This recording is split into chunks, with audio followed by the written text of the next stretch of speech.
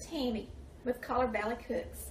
Today I'm going to show you a tip that I learned on Pinterest and I've come to like, like it If you use Coffee Mate, you can take the covers off of it, save the containers because they're clear, and use them to store things in.